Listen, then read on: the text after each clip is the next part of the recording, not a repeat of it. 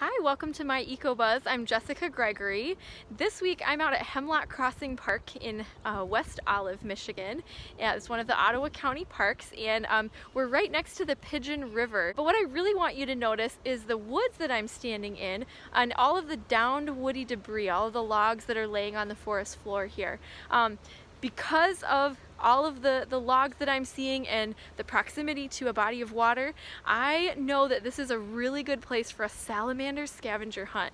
So this week, um, we're going to be talking a little bit about how to find salamanders, how to identify one of the common salamanders that we have in Michigan, and how to be respectful of their habitat. So uh, we're going to find a good log and we're going to roll it over and I'm going to show you how to do that. And hopefully we'll find a salamander. So come along with me. Let's go check it out.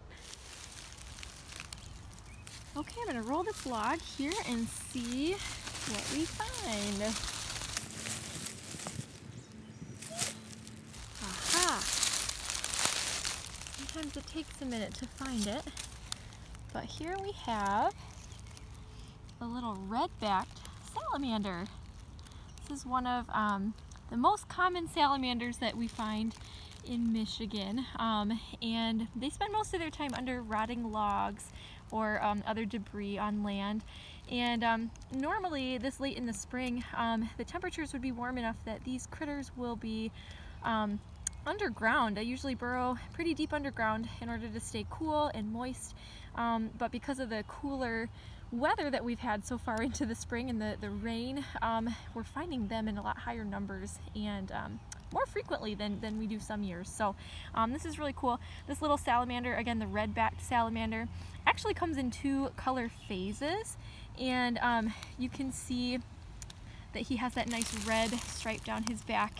Um, so this is the red back um, phase, but there's also a lead back phase that um, it has the same body shape, same size, but it just lacks that red stripe. So it's more of a, a black color overall, um, maybe with a little little bit of salt and pepper coloring. Um, and as I'm looking, I'm seeing another one right here too. Um, so this is really fun. This is a good time of year to come out and look for these guys.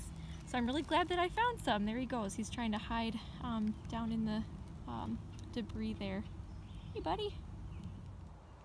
Now, if you do go out to look for salamanders like I am, part of the etiquette of log rolling is to make sure that you put it back to the position that it was in when you originally found it. So um, I'm going to go ahead and just roll this log back and I don't need to worry about squishing the salamanders. They have a um, very low body profile. They're very flat um, and they'll burrow down deep under the ground. So I don't need to worry about that. Um, but I do want to make sure that I'm protecting the habitat that they have there um, and also the habitat for the other decomposers um, that live under that log. So make sure you put the logs back.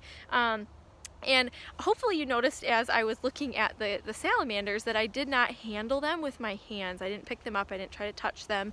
Um, it's not that you can't do that, um, although there are some salamanders that do secrete um, chemical toxins onto their skin that can actually burn your skin or, or cause irritation. Um, the redbacks don't do that, but um, by handling them, uh, you can actually transfer chemicals from your skin to their skin. And that's a big deal because salamanders and frogs and a lot of other um, amphibians, they breathe through their skin. They don't have lungs. So um, if you transfer chemicals to them, that could severely damage their, their skin and their ability to breathe. So um, just make sure that if you put on lotions or uh, bug spray or sunscreen or anything like that, even hand sanitizer, um, try not to handle them. Another fun fact about the red-backed salamander is that um, it can lose its tail if a predator tries to um, grab onto it to eat it.